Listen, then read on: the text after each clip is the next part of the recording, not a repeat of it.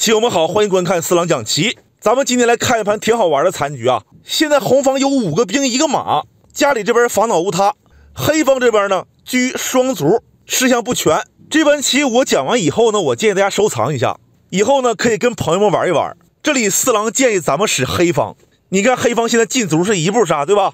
那红方要踩着车，这第一步肯定红方要把车干掉啊。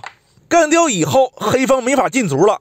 你要是硬拱的话，这一踩一换，红方剩五个兵，那这个棋不必赢了吗？那不能硬拱，黑方这个棋呢，他也不能绕，因为红方这匹马锁住了下方四个点，你根本就绕不过去。你也不能移形换位，你平卒将，那红方不踩了吗？这个棋换不换不，红方赢了。但是这个棋为什么选黑方呢？你看咱们不是踩车了吗？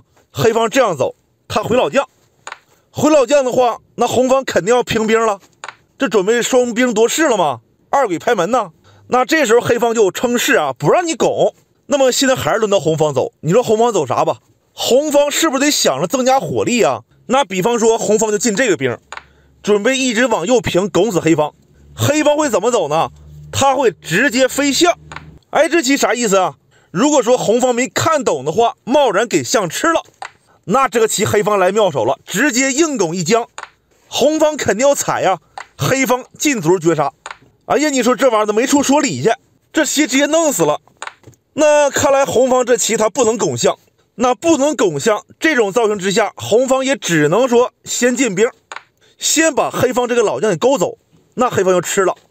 那吃完以后，你敢不敢拱象啊？如果说你一拱，黑方又回来了，你这棋红方不够步啊，你没法遮住将脸啊，差一招棋，你现在送兵这个棋也完了，你进兵黑方上来，平兵黑方吃了，那这个棋怎么办呢？要不咱们摆回来再看看？来吧，棋友们，回到初始局面，咱们再走一把啊。第一步棋，咱们先把车踩了，这个没啥毛病。然后黑方这时候会回老将，回老将以后，咱们平兵也是没有问题的。那接下来黑方不称势了吗？这时候咱们往下冲兵，其实也是没啥问题的。但是这里建议咱们平兵，不要轻易把兵冲到底线。然后黑方不是这样走吗？他飞象是吧？红方不能拱，一拱就死。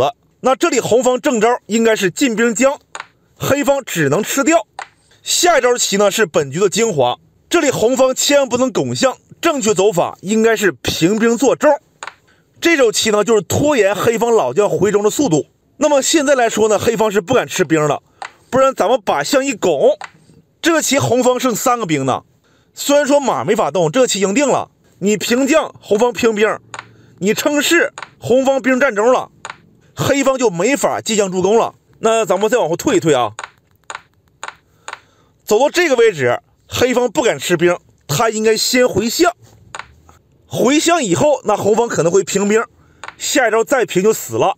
黑方肯定会吃兵了，那这种局面之下，红方得赶快送兵，然后黑方一吃，红方过这个，黑方呢就回老将，走到这个位置，红方如果平这个，那这棋就死了。黑方一称势，下一招强行进卒一将，这还是没遮住老将啊。正确走法应该是平下边这个，那这里黑方就会落势，红方赶快平兵，黑方上将，这棋红方就再进兵。黑方一崴将，好了，棋友们，这种局面之下呢，可以说红方没有赢棋的希望了。平将以后，红方再平个兵，黑方再动个士，那么现在这种情况呢，就是一个标准的和棋了。因为现在红方马不能动，一动拱死，那红方左边这个兵，他只能往这边走。你要是说拱士这棋又死了，黑方一吃，你没棋走啊，只能往前冲兵。那老将再一吃，不完了吗？哎，这里红方不敢瞎弄，他这里要不这样平兵。要不这样平兵，那这样走的话，黑方就往这儿称势呗。你这个兵也没法进，那个兵也没法平。如果说红方拱士，那这棋更和了。黑方一回将，红方一回中，红方这个兵在底线走闲，那黑方就飞象走闲。这盘棋设计的不错，本以为红方刚开始是稳赢的，但是没想到最后是个和棋，而且还得小心黑方反杀。